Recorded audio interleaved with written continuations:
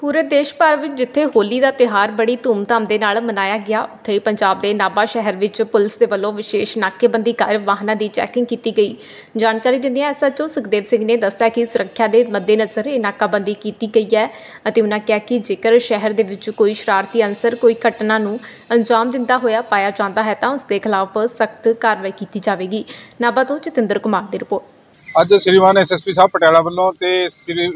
DSP ਸਾਹਿਬ ਨਾਭਾ ਵੱਲੋਂ ਸਾਨੂੰ ਸਖਤ ਹਦਾਇਤਾਂ ਨੇ ਸਪੈਸ਼ਲ ਨਾਕਾਬੰਦੀ ਕਰਕੇ ਜੀ ਜੇ ਕੋਈ ਹੁੱਲੜਬਾਜੀ ਕਰਦਾ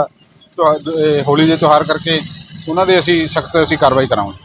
ਤੇ ਜਿਹੜੇ ਇੱਕ ਨੌਜਵਾਨ ਜਿਹੜੇ ਕੋਈ ਬੁਲਟ ਦੇ ਟਰੱਕ ਮਾਰਨਗੇ ਜਾਂ ਰਾਹ ਜਾਂਦੇ ਤੇ ਰੰਗ ਸੁੱਟ ਰਹੇ ਨੇ ਇਹਨਾਂ ਬਾਰੇ ਇਹਨਾਂ ਬਾਰੇ ਵੀ ਅਸੀਂ ਹੁੱਲੜਬਾਜੀ ਦੇ ਵਿੱਚ ਇਹੀ ਆਉਂਦੇ ਜੀ ਇਹਨਾਂ ਦੇ ਖਿਲਾਫ ਵੀ ਜੇ ਕੋਈ ਵਾਇਓਲੇਸ਼ਨ ਕਰੂਗਾ ਉਹਦੇ ਤੇ ਅਸੀਂ ਬੰਦ ਕਰਾਂਗੇ ਤੇ ਸਖਤਾਈ ਨਾਲ ਅਸੀਂ ਪੇਸ਼ ਆਵਾਂਗੇ ਹੈਲੋ एवरीवन ਮੈਂ ਪਰਵਿੰਦਰ ਕੌਰ ਡੋਗਰਾ ਪੈਰਾਮੈਡੀਕਲ ਗੁਰੂਕੁਲ ਹੁਸ਼ਿਆਰਪੁਰ ਦੇ ਐਡਮਿਸ਼ਨ ਸੈੱਲ ਤੋਂ ਤੁਹਾਨੂੰ ਗੁਰੂਕੁਲ ਵਿੱਚ ਕਰਵਾਏ ਜਾਂਦੇ ਪੈਰਾਮੈਡੀਕਲ ਕੋਰਸਿਸ ਬਾਰੇ ਜਾਣੂ ਕਰਵਾਵਾਂਗੀ, ਜਿਨ੍ਹਾਂ ਵਿੱਚੋਂ ਮੁੱਖ course laboratory X-ray OT patient care cardiac care dialysis hospital management ophthalmic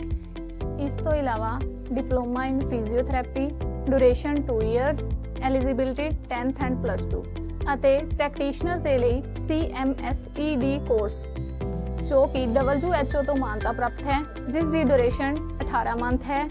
ਇਸ ਨੂੰ ਕਰਨ ਦੀ ਐਲੀਜੀਬਿਲਟੀ ਮੈਕਸਿਮਮ 10th ਪਾਸ ਹੈ। ਇਸ ਦੇ ਨਾਲ ਹੀ ਨੈਨੀ ਕੇਅਰ ਕੋਰਸ ਜੋ ਕਿ 6 ਮੰਥ ਦਾ ਹੈ, ਇਸ ਕੋਰਸ ਨੂੰ ਕਰਨ ਤੋਂ ਬਾਅਦ